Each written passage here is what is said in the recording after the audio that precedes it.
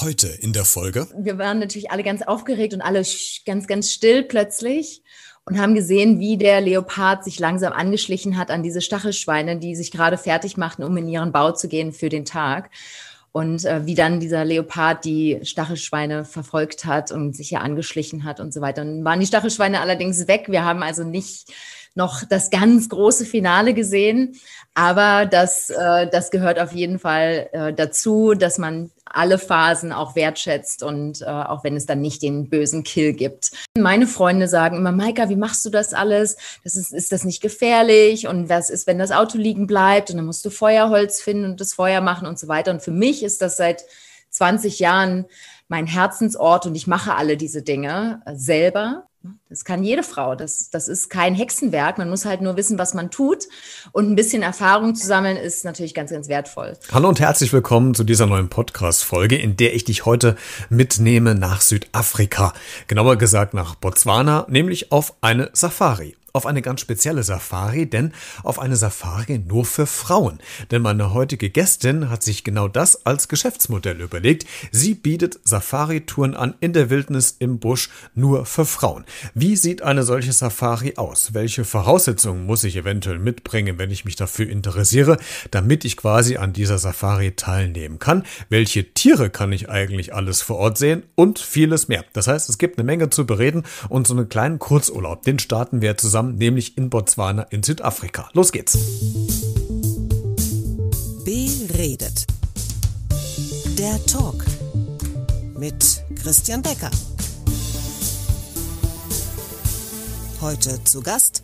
Hallo, lieber Christian. Mein Name ist Maika Kretschmer. Ich bin Inhaberin und Gründerin von Misguided Safaris und ich biete Safaris für Frauen zum Selberfahren im südlichen Afrika an. Und ich freue mich sehr, dass, äh, dass wir uns heute hier sprechen und dass du mich eingeladen hast in deinem Podcast. Herzlichen Dank dafür. Und ich freue mich sehr, dass du heute meine Gästin bist. Und noch mehr freue ich mich und ich bin sehr gespannt, wie das Gespräch heute wird, dass du aus Botswana zugeschaltet bist. Das sind ja zigtausende Kilometer weit weg. Und wir hatten uns äh, vor einer Woche ähm, auf einer äh, kleinen Videokonferenz kennengelernt. Und da habe ich damals ja schon gesagt, wie irrsinnig ist das denn, dass ich hier in Kassel in Deutschland stehe, du in Botswana tausende Kilometer weit weg. Und wir können uns einfach unterhalten, als ob du bei mir in der Küche sitzen würdest. Aber das soll gar nicht heute unser Thema sein, nämlich tatsächlich dein äh, Safari-Angebot. Und Maika, bevor wir richtig tief ins Thema einsteigen, wie viele wilde Tiere und welche hast du denn heute schon gesehen vor deiner Haustür? Vor meiner Haustür. Ähm, ich habe, ich bin, äh, bin gerade eben, also vor wirklich 20 Minuten, aus dem Busch zurückgekommen für unser Interview und freue mich da sehr, wirklich sehr drauf. Deshalb kann ich diese Frage gar nicht ganz spontan beantworten, denn ich habe sehr, sehr viele Tiere heute schon gesehen. Lass mich mal überlegen, welche das waren, denn ich bin heute Morgen um wann bin ich denn aufgestanden? Um 4.30 Uhr bin ich aufgestanden, äh, Zähne putzen, schnell eine Dusche unter freiem Himmel. Und dann ging es rein in den Game Viewer in einem, an einem meiner Lieblingsorte, nämlich Quapper Camp. Das ist ein Trainingscamp, in dem ich trainiert worden bin vor vielen Jahren und in das ich immer wieder auch zur Unterstützung mit zurückkehren darf. Und äh, dort bin ich heute Morgen mit den Studenten äh, rausgedüst, noch vor Sonnenaufgang. Und äh, wir haben als erstes Impalas gesehen. Das sind, ähm, ja, Impalas äh, sind quasi wie in Deutschland die Rehe, wenn man jetzt so will, wenn man diesen Vergleich überhaupt ziehen darf. Wir haben Zebras gesehen, die, äh, die gerade in die, äh, in, die, in die aufgehende Sonne gezogen sind, was ganz wunderschön war. Wir haben Gnus gesehen. Wir haben, ähm, was haben wir denn noch gesehen? Diverse Vögel, die so früh am Morgen natürlich unterwegs sind, sich aufwärmen. Wir haben äh, dann etwas ganz Großartiges und völlig Unverhofftes gesehen, und zwar zwei Stachelschweine. Und äh, die sieht man wirklich selten, sobald die Sonne oder sobald Licht äh, rauskommt, wenn man, ja, wenn man das so sagen kann. Und während wir diese Stachelschweine beobachtet haben, haben wir festgestellt, dass hinter unserem Auto auf einmal ein Leopard angeschlichen kam. Uh, okay. Und das war, das, wir waren natürlich alle ganz aufgeregt und alle ganz, ganz still plötzlich und haben gesehen, wie der Leopard sich langsam angeschlichen hat an diese Stachelschweine, die sich gerade fertig machten, um in ihren Bau zu gehen für den Tag. Und äh, wie dann dieser Leopard die Stachelschweine verfolgt hat und sich ja angeschlichen hat und so weiter. Und waren die Stachelschweine allerdings weg. Wir haben also nicht noch das ganz große Finale gesehen. Aber das, äh, das gehört auf jeden Fall äh, dazu, dass man alle Phasen auch wertschätzt und äh, auch wenn es dann nicht den bösen Kill gibt, äh, dass das Tier einfach, ja, das ist einfach wunderbar zu sehen, die Interaktion zwischen den Tieren da draußen. Und das klingt total idyllisch. Also jetzt nicht diese Jagdszene mit dem Jaguar, aber dass man mit dem Zebra quasi in den Sonnenaufgang ähm, hinterherfährt mit den, mit den Jeeps oder mit euren Autos. Also das stelle ich mir total traumhaft vor. Du hast es eben ja schon gesagt, du äh, machst das äh, selbstständig, du bietest äh, Safaris an und hast es in deinem Eingangsstatements ja auch schon gesehen, ne, gesagt, nämlich du hast dich auf eine spezielle äh, Zielgruppe eingeschossen, nämlich Safaris für Frauen. Und jetzt muss natürlich diese Frage kommen, auf die du wahrscheinlich schon die ganze Zeit gewartet hast. Warum denn nur Frauen? Warum dürfen wir, wenn, wir Männer denn nicht mitspielen? Ähm, ich habe angefangen ursprünglich ähm, diese Touren zu designen für jeder Mann, jeder Frau, wenn man so will, genau. Und äh, habe dann festgestellt, dass es interessanterweise im äh, afrikanischen Busch äh, das sogenannte Kaki-Fieber gibt. Ja? Das heißt, Männer und Frauen, da gibt es dann eine gewisse Spannungsfeld, ähm, was ich immer wieder beobachtet habe, und zwar in unterschiedlicher Weise. Also einmal ganz klar ähm, äh, zwischengeschlechtlich. Ja, äh, und zum anderen aber auch die klassischen Geschlechterrollen werden dort ganz, ganz evident. Und habe dann festgestellt, hm, meine Freunde sagen immer, Maika, wie machst du das alles? Das ist, ist das nicht gefährlich? Und was ist, wenn das Auto liegen bleibt? Und dann musst du Feuerholz finden und das Feuer machen und so weiter. Und für mich ist das seit 20 Jahren mein Herzensort und ich mache alle diese Dinge äh, selber. Und meine Antwort darauf ist stetig, ja, ich, äh, das kannst du auch. Das kann jede Frau. Das, das ist kein Hexenwerk. Man muss halt nur wissen, was man tut. Und ein bisschen Erfahrung zu sammeln ist natürlich ganz, ganz wertvoll. Und habe dann festgestellt, hm, ich möchte eigentlich gerne diese Sexual Tension zwischen Männlein und Weiblein ausschließen. Und ich möchte auch gerne ausschließen, dass Frauen sich zurückziehen, wenn die Männer dabei sind. Und dann gibt es eben die ganz klare Tendenz, dass sie sagen, nee, fahr du mal, ach ja, das Feuer, naja, das macht halt der Mann und das Feuerholz einzusammeln, das macht der Mann und ich koche dann einfach und so die ganz klassischen Rollen werden da so deutlich. Äh, auch von Frauen, die in, der, ne, die in unseren Breitengraden emanzipiert sind und, äh, und da ihr eigenes unabhängiges Leben leben. Auch da ist es sichtbar. Und deshalb bin ich mehr und mehr zu dem Schluss gekommen, hm, es ist eigentlich ganz, ganz klug, Frauen zu zeigen und Frauen, Frauen ein Angebot zu machen, das ihnen diese Grenzverschiebung ermöglicht, so dass sie sehen und erleben, äh, ja, ganz, äh, ganz, ganz persönlich erleben, was es eigentlich heißt, da draußen unterwegs zu sein, ohne den Einfluss von außen. Und mal davon abgesehen war es mir auch wichtig, dass man, wenn man seine Beine nicht rasiert hat oder wenn man äh, irgendwie einen Wackel am Hintern hat oder sonst irgendwas, wenn man morgens aus dem Zelt rauskriecht, dass man sich da einfach nicht unwohl fühlt, sondern dass man nicht das Gefühl hat, oh, da guckt irgendwer oder hm, ich möchte dem gefallen oder diese ganzen Aspekte, die da so durchaus eine Rolle spielen, auch in unserem täglichen Leben. Hm, Im Grunde ist dann ein unbeschwerteres Reisen für, für die Teilnehmerinnen, höre ich dann raus. Unbedingt. Und auch ne, Grenzen zu überschreiten und Hürden zu überwinden, wie zum Beispiel, ähm, ich hatte neulich eine Frau auf einer Safari, die hat sich wirklich gescheut, durch einen Fluss durchzufahren.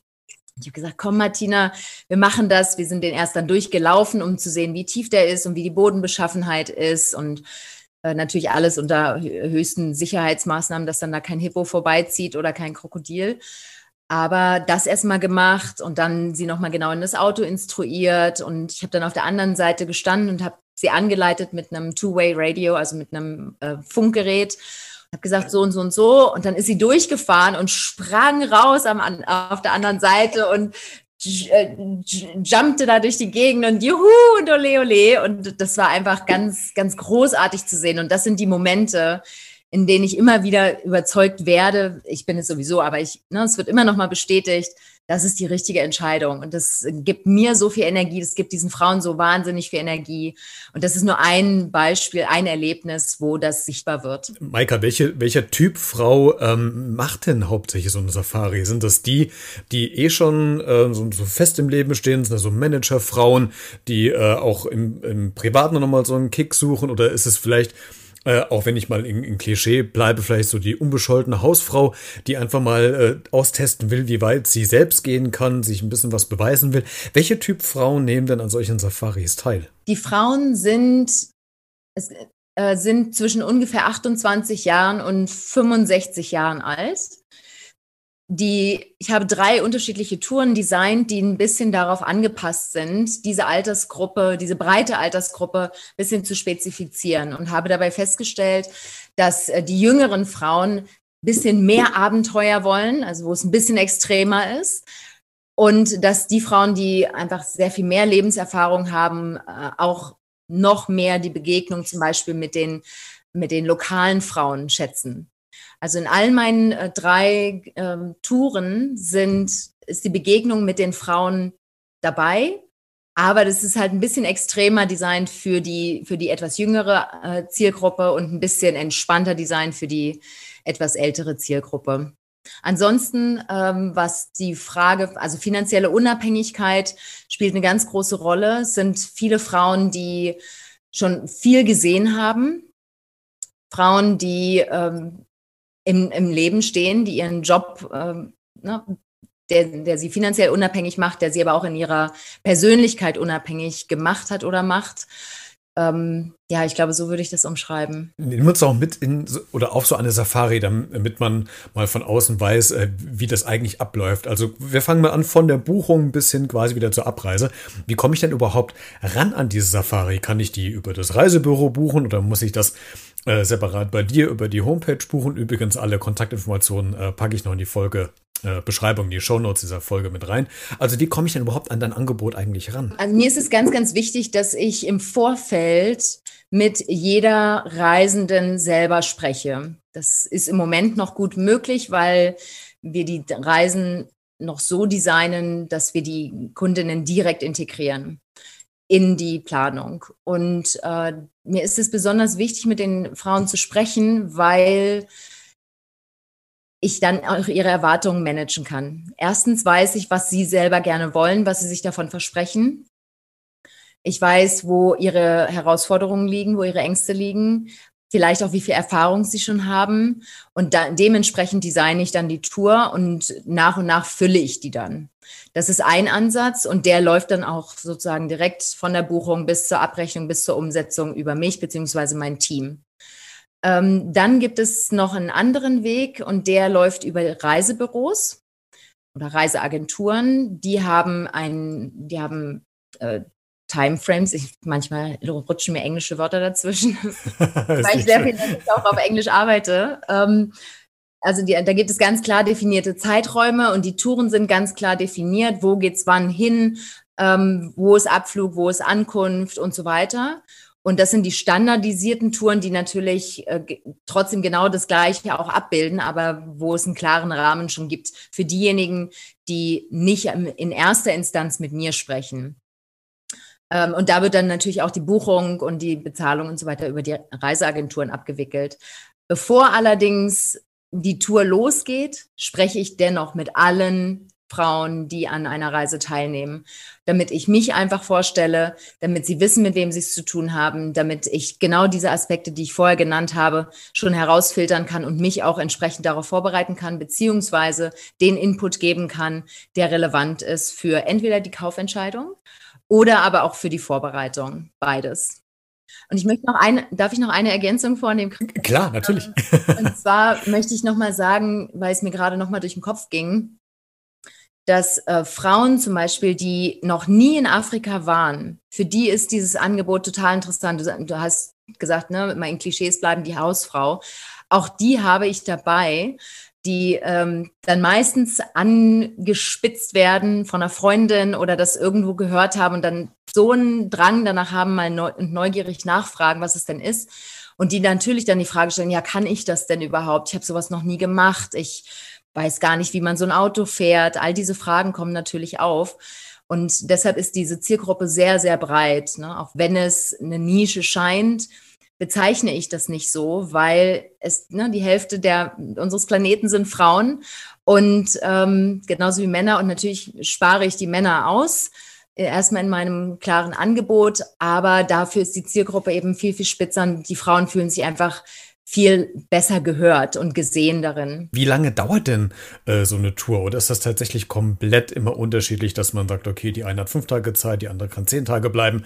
Oder hast du quasi die Touren schon so geplant, du hast es eben schon gesagt, die sind ja gut strukturiert, dass die eine Tour vielleicht drei Tage, die andere fünf Tage dauert. Wie lange dauert so eine Safari? Eine Safari mit Misguided Safaris dauert ähm, 14 Tage, 21 Tage oder wenn der Wunsch da ist, auch länger. Wir machen auch, wenn die Nachfrage da ist, kürzere Touren. In der Regel empfehle ich das nicht unbedingt, denn die Frauen bekommen alle ein Fahrtraining vorab. Und dafür nehme ich mir Zeit. Das heißt, wir starten in der Regel in Maun in Botswana. Das ist das Tor zum Okavango-Delta, wie es so schön heißt. Und dort verbringen wir etwas Zeit. Da verbringen wir zweieinhalb bis drei Tage. Und ein Tag davon äh, oder ein Großteil des Tages davon ist einem Fahrtraining gewidmet. Das heißt, wir holen die Autos ab, die ähm, geliehen werden. Die Autos werden noch geliehen. Also ich habe keinen Fuhrpark oder so, sondern die Autos sind auf top neuestem Stand.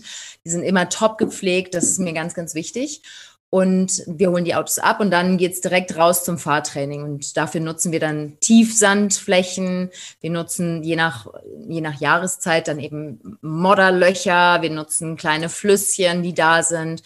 Wir üben das, wie man ein Auto abschleppt, wie man, ich zeige den Frauen, wie man einen Reifen wechselt, wie man ähm, Allradfahrzeug fährt. All diese Elemente und natürlich auch, bevor wir überhaupt losfahren, ist ganz, ganz wichtig, dass sie eingeführt werden, und, da, und darauf verwende ich auch relativ viel Zeit, in äh, die, die Buschethik. Also wie fährt man an Tiere ran? Über welche Vegetation darf, sollte ich rüberfahren, über welche sollte ich nicht rüberfahren? Primär nicht rüberfahren. Ähm, was bedeutet es, auf Wegen zu bleiben? Was bedeutet es, ähm, wie Sand sich verhält, wie verhalten sich bestimmte Tierarten, in welcher Situation. Wir machen Two-Way-Radio-Training, sodass die Frauen wissen, wie sie mit dem äh, Walkie-Talkie umgehen können und sollen. Ja, dass da eben kein Geschnatter äh, stattfindet, sondern dass man eben ganz präzise Ansagen macht und auch ich ganz präzise Ansagen mache und die verstanden werden. Also all diese Elemente nutze ich, um die Frauen vorzubereiten auf ein sicheres Fahren auf eine sichere Kommunikation mit mir, äh, auf, ein, auf ein sicheres äh, inneres Gefühl, sobald es losgeht. Und auch ganz, ganz wichtig, um die, die Natur und die, das Environment, in dem wir unterwegs sind, bestmöglich zu beschützen. Denn das ist eine Beobachtung, die ich über die vielen Jahre, in denen ich selber Self-Drive-mäßig unterwegs bin, gemacht habe, dass viele Self-Driver das nicht, sich da gar nicht auskennen und das dann zu relativ hoher oder großer Zerstörung der Natur kommt. Ja, und auch zu gefährlichen Situationen mit Tieren. Was muss ich denn als Teilnehmerin mitbringen, um überhaupt an dieser Safari teilnehmen zu können? Klar, man sollte mal, also ist, ist denn überhaupt der Führerschein jetzt äh, Pflicht oder, oder äh, gibt es auch Frauen, die auch überhaupt gar keinen Führerschein gemacht haben und lernen das jetzt da vor Ort? Oder muss der auf jeden Fall sein? Der muss auf jeden Fall sein, das kann ich ganz klar beantworten. Und im Idealfall auch der internationale Führerschein. Also wenn man im Busch unterwegs ist, ist das nicht so wild ähm, ist kein Aufruf hier zum, zum Gesetzesbruch. Ähm, aber wenn wir auf den Straßen unterwegs sind, ähm, kann man immer mit einem Internet, also mit einem, mit einem, äh, mit seinem lokalen Führerschein fahren. Idealerweise hat man einen internationalen Führerschein. Wenn doch irgendwas sein sollte, ist man immer auf der sicheren Seite.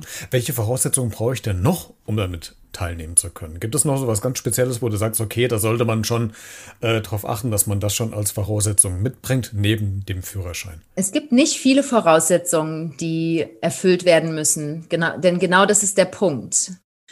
Ähm, es, was, eine was eine Voraussetzung ist, ist die Bereitschaft, dem zu folgen, was der Guide, die Guidin in dem Fall ähm, äh, sagt. Also das ist ganz, ganz klar Regel Nummer eins, Safety First. Und das bedeutet, ich folge allen Anweisungen der Guidin. Die Bereitschaft dafür muss da sein. Es muss auch eine Bereitschaft da sein, sich einzufügen in eine Gruppe, wo es unterschiedliche Niveaus gibt. Ja, ähm, manche haben viel mehr Erfahrung, manche haben vielleicht gar keine Erfahrung und dann ist es für mich, ist einer der Werte von Misguided Safaris, ist Solidarität und Encouragement. Und es betrifft nicht nur, dass sie hinterher rausgehen und sagen, wow, ich äh, habe sowas Tolles erlebt, ich habe gesehen, was ich kann, ich kann meine Grenzen verschieben, jetzt geht's mir gut, sondern dass, der, dass genau das während der Safari schon passiert und zwar auch miteinander und untereinander.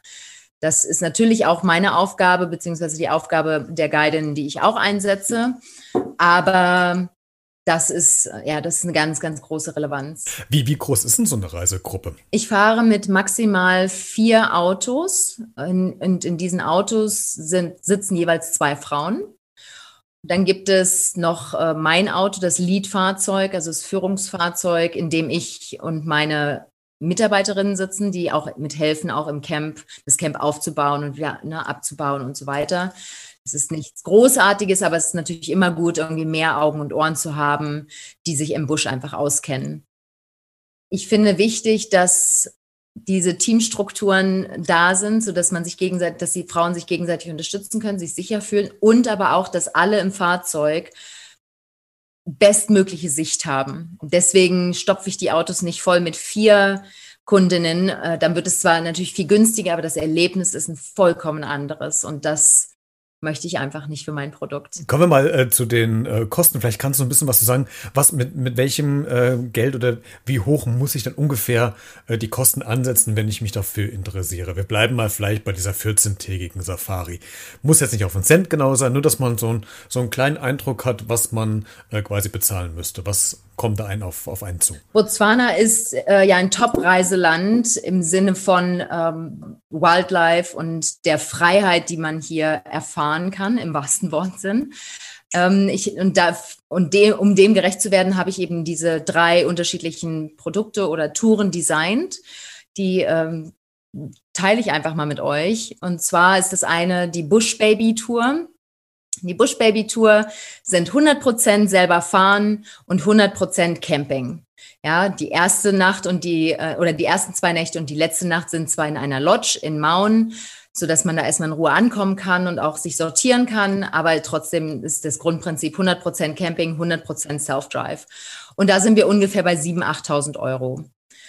Ne, das inkludiert alle Aktivitäten, das inkludiert Food and Beverage, es äh, inkludiert, es inkludiert sogar ähm, ne, die hiesige Währung, die Pula ist. Äh, und weil ich möchte, dass die Frauen auch da mit einem ganz entspannten Gefühl unterwegs sind und nicht die, sich die Sorgen machen müssen, oh, funktioniert jetzt meine Kreditkarte oder funktioniert die nicht und kriege ich dann da Geld oder nicht. Das heißt, alle kriegen die lokale Währung zu einem bestimmten, in einem bestimmten Wert, der natürlich darin auch verankert ist. Ähm, genau. Die zweite Tour, das sind, ist die Wild Child Tour, also die wilden Kinder. Die Wild Child Tour ist auch 100% Self-Drive und 50% Camping und 50% Lodging. Das ist für all diejenigen, die gerne mal ein paar weiße Bettlagen zwischendurch haben und die auch gerne mal das Essen serviert bekommen möchten oder aus Kristallgläsern trinken wollen. Da gehen wir dann in Lodges, die für den Preis, den, äh, für den Preis, den ich da ansetze, nicht top, top, top Niveau sind, weil in Botswana zahlt man für eine Top Lodge ungefähr drei bis 4.000 Dollar die Nacht pro Person. Also da kriegt man ein Gefühl dafür, während die günstigsten Lodges bei 150 bis 300, 450 Dollar liegen. Also das sind die günstigsten. Und wenn man dann natürlich ein bisschen was Tolles auch erleben möchte, muss man ein bisschen was drauflegen. Deshalb landen wir da so ungefähr bei zwischen 10 und 12.000 Euro. Ähm, genau. Und dann gibt es die Luxury Girls Tour.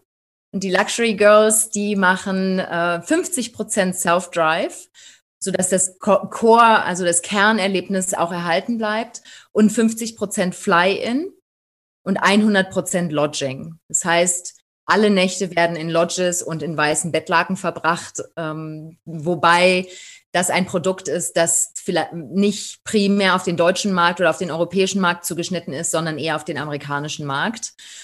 Und ähm, die was mir, mir persönlich ist am nächsten die Bush Baby Tour. Das ist das, wo ich herkomme, wo es richtig wild zugeht. Aber ich muss sagen, mittlerweile ähm, bin ich 42 Jahre alt und genieße das doch auch schon mal.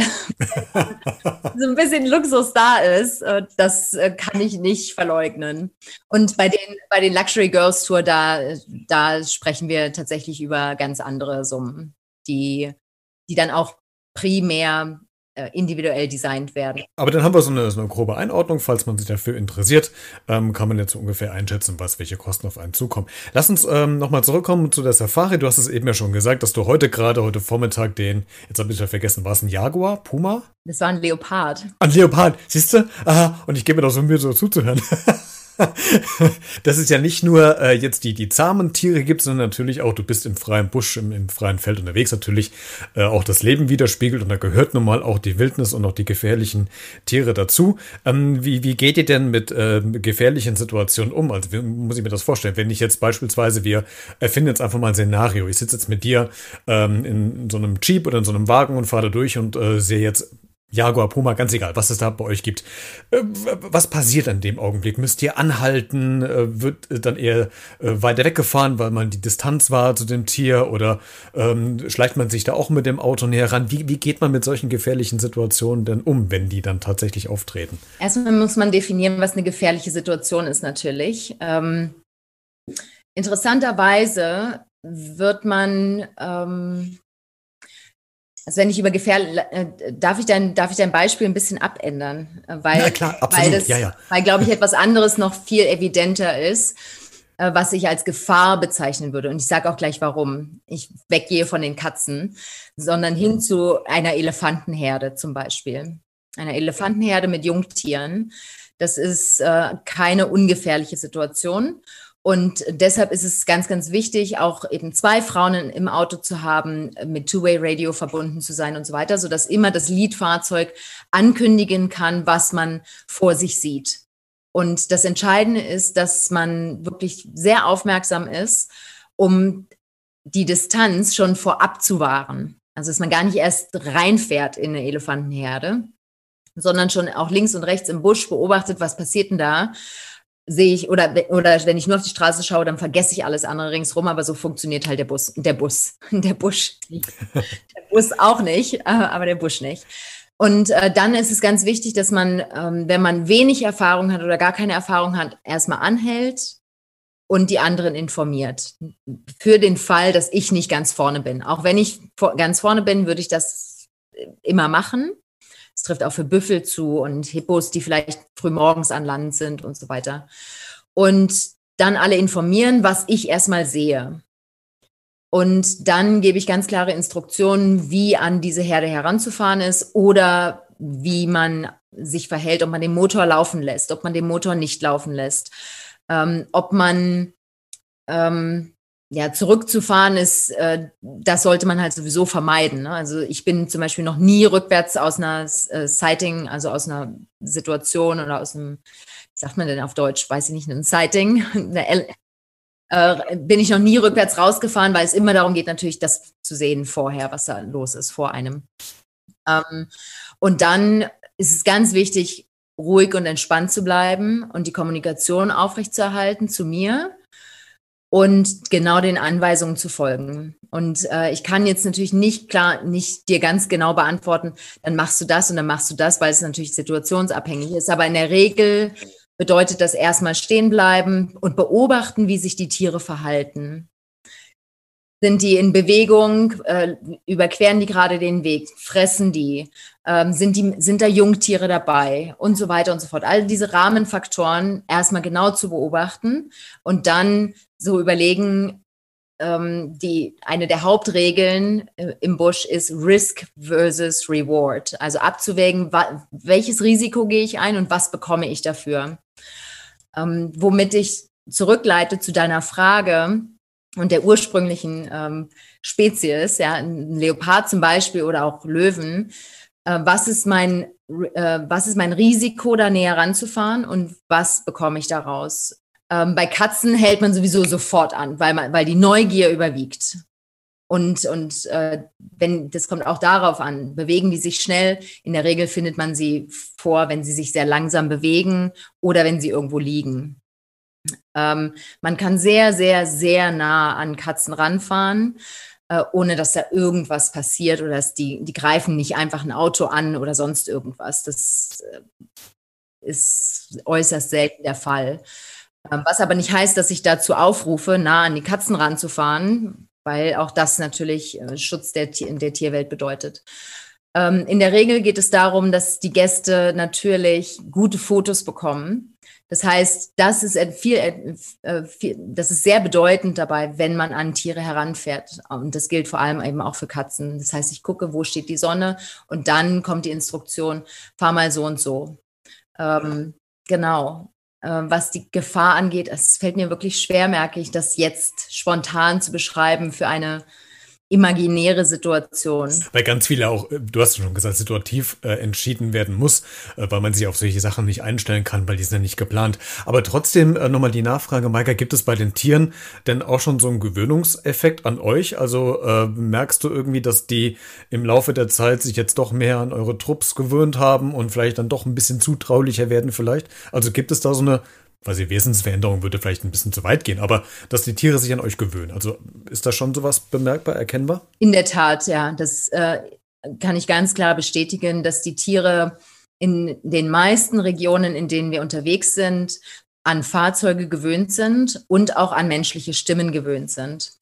Wir fahren ja nicht mit offenen Safari-Autos, wie man die aus Filmen kennt, sondern wir fahren mit äh, voll ausgestatteten ähm, Toyota Hilux zum Beispiel oder, äh, Toyota, äh, oder Land Cruiser oder sowas mit Dachzelt obendrauf und so weiter. Das heißt, die Autos sind sowieso geschlossen ähm, und daran, auch daran sind die Tiere gewöhnt. Also an beide an beide Arten von Fahrzeugen und vor allem, dass Menschen darin sprechen. Warum bist du denn überhaupt nach Botswana ausgewandert? Also was war denn der Grund, äh, warum du jetzt quasi, ich nehme an, dass du ausgewandert bist äh, und in Deutschland ab und zu mal zu Besuch bist, um mal wieder die Heimat zu sehen, aber dein Lebenspunkt ist ja mittlerweile Botswana, also Südafrika. Wie, wie und warum hat sich denn da in die Region vertrieben? Ich habe meine erste Nacht im Busch, im wirklich afrikanischen Busch, in Botswana tatsächlich, ähm, in der Silvesternacht von 2000 auf 2001 verbracht und ähm, oben auf einem Dach äh, übernachtet, das äh, auf, ja, auf, auf so einem Auto im, im, Dachzelt übernachtet, das damals noch völlig anders war. Das war ein ganz simples, äh, altes Zelt, das wir einfach oben drauf gestellt haben jede Nacht. Äh, ganz anders, als es heute läuft. Und da habe ich das erste Mal gesehen, äh, Elefantenrücken, die dann durch den Busch zogen oder Giraffen und so weiter. Also ich bin seit 20 Jahren so unterwegs und jetzt habe ich von, äh, jetzt habe ich meinen Faden verloren, weil ich mich an dieses Erlebnis erinnert habe. Bitte stell deine Frage nochmal, Christian. warum du ausgewandert ja, bist. Also genau. Also du, genau. Genau, da, das war eine, das war, das war die Nacht, in der ich mich in, äh, in Botswana und, äh, und in das südliche Afrika verliebt habe und dann immer wieder zurückgekommen bin als Urlauberin. Dann habe ich äh, vor zehn Jahren in Sambia für eine sehr lange Zeit gelebt und dort ähm, primär ein Kinderhaus mit betreut und aufgebaut und habe dann vor, dann wie weitere zehn Jahre später, also jetzt vor ungefähr vier Jahren, mich entschieden, dass ich meine Leidenschaft weiterentwickle. Und dann war für mich sehr schnell klar, dass ich Botswana dafür auswähle als, als Kern äh, oder als Hauptstandpunkt, weil Botswana politisch sicher ist, weil Botswana eine Wahnsinnstierwelt bietet, weil Botswana eine irre Freiheit bietet, weil Botswana eine ganz, ganz große Breite an unterschiedlichen ähm, Landschaften und Habitats bietet, von riesigen Salzpfannen, die so groß sind wie die Schweiz, zu tiefstem Busch, zu äh, über die Kalahari. Also es ist bunt, bunt, bunt, äh, was man hier erleben kann. Und die Tierwelt vor allem sehr entspannt ist, weil hier die Wilderei nicht äh, so stark ausgeprägt ist wie in den Ländern um uns herum. Nichtsdestotrotz biete ich meine Touren auch in Namibia an, was einen ganz, ganz großartigen Kontrast bildet landschaftlich und vom Gesamterlebnis äh, und auch in Sambia und in Simbabwe. Das heißt, du bist gar nicht nur auf die Region beschränkt, wo du jetzt gerade lebst, sondern du kannst auch andere ähm, Regionen mit in die Tour mit reinnehmen. Äh, Gibt es denn was, was du am meisten an Deutschland vermisst? Bauernbrot, sagen die meisten, Würstchen oder sowas. Ich vermisse meine besten Freunde und meine Familie. Ich vermisse tatsächlich, die vermisse ich am allermeisten. Und ich äh, war gerade in Deutschland und äh, habe meine beste Freundin zum Geburtstag überrascht und das hat mir wieder mal gezeigt, so ja, das ist etwas, was mir so, so, so fehlt. Ähm, aber dar darüber hinaus vermisse ich äh, ich vermisse schon manchmal so richtig gutes Essen mhm. und, und äh, Bücherregale. Äh, ich schicke mir immer äh, Riesenboxen mit Büchern hier runter. Wenn, immer wenn ich in Deutschland bin, kaufe ich mir Bücher irgendwie auf dem Flohmarkt oder was. Und dann kommen die hier runter, weil, naja, vor allem hier in Mauen ist halt das Angebot über Safari-Geschichten hinaus und über Gräser und Bäume und Marmels nicht sonderlich groß. Und da merke ich schon, ja, ich bin doch ein Kind der westlichen Welt. Äh, ich brauche ein bisschen mehr Input. Äh, der Busch ist großartig, aber ne, es reicht noch nicht, zu, um, um 100 Prozent äh, Erfüllung zu schaffen. Hm. Gibt es denn was, was du gar nicht vermisst? Ja, es gibt einige Sachen, die ich gar nicht vermisse. Ähm, ich vermisse gar nicht ähm, diese, naja, diese Diskussionskultur, die sehr viel Kapazitäten einnimmt. Das habe ich jetzt wieder festgestellt und mich ablenkt von dem, was für mich wirklich wichtig ist. Und das ist eben die Verbundenheit zur Natur und äh, die die Energie, die daraus für mich entsteht. Ich hätte jetzt äh, fast getippt, du würdest sagen, das schlechte Wetter. Weil jetzt gerade, wo wir uns unterhalten, ist es draußen bei uns in Kassel regnerisch, Herbst. Wir haben einstellige äh, äh, Temperaturen und du sitzt wahrscheinlich bei schönen oder vielleicht heißen über 30 Grad in Botswana, ne? Ja, das, äh, ich war, als ich jetzt in Deutschland war, war ich, äh, war ich eben wandern mit meiner besten Freundin ein, äh, an einem Tag in den bayerischen Bergen und es hat geregnet und es war neblig und wir waren durchgenässt und alles und ich hab's geliebt. Ja, ich hab's es war so schön, äh, weil es einfach dann so anders ist. Ne? Und, und es ist begrenzt zeitlich. Insofern. Äh Stimmt, du weißt, dass du wieder in die Wärme und in die Hitze kommst, aber das äh, bringt uns zum letzten Punkt unseres Gespräches, Maike, bevor wir gleich ähm, am Ende sind, äh, nämlich auch Regen und äh, die Hitze. Ihr habt da, glaube ich, wenn ich richtig informiert bin, äh, gerade eine richtige fette Hitzewelle, entweder noch mittendrin oder hinter euch. Ähm, ganz viele sagen, das ist so ein Jahrhunderthitze, die ihr habt. Äh, es gab, glaube ich, ein Jahr lang in Südafrika fast überhaupt keinen Regen, stimmt das? In Botswana meinst du? Ja, oder generell so, ich glaube, vielleicht war es auch noch ein bisschen weiter südlicher unten, ich weiß es gar nicht. Also wir hatten, äh, doch, wir hatten ähm, Regen hatten wir auf jeden Fall. Wir hatten in 2019 gab es, gab es nur eine ganz, ganz kleine Flut des Okavango-Deltas. Und das bedeutet, ähm, die, das Okavango-Delta ähm, hat ja seinen Ursprung im, in Angola und kommt dann durch den Caprivi-Strip runter nach Botswana. Das sind ähm, aber Millionen von äh, Kubiklitern Wasser.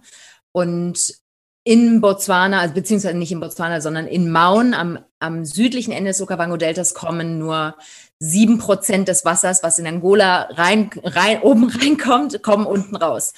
So, und wenn, und dadurch, äh, dass es in Angola, wenn es in Angola sehr viel regnet, dann kommt eine Welle, die das Okavango-Delta einmal auffüllt. Das ist ja ein Binnendelta.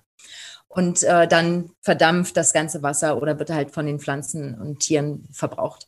Und wenn diese Welle nicht kommt, weil es nicht genügend in Angola regnet, dann kommt natürlich auch unten im Süden, am Ende des Okavango-Deltas, kein Wasser an. Und das, führt, das führte zu einer Dürre, weil hier die ganzen Flüsse, die ganzen Kanäle, nichts hatte Wasser.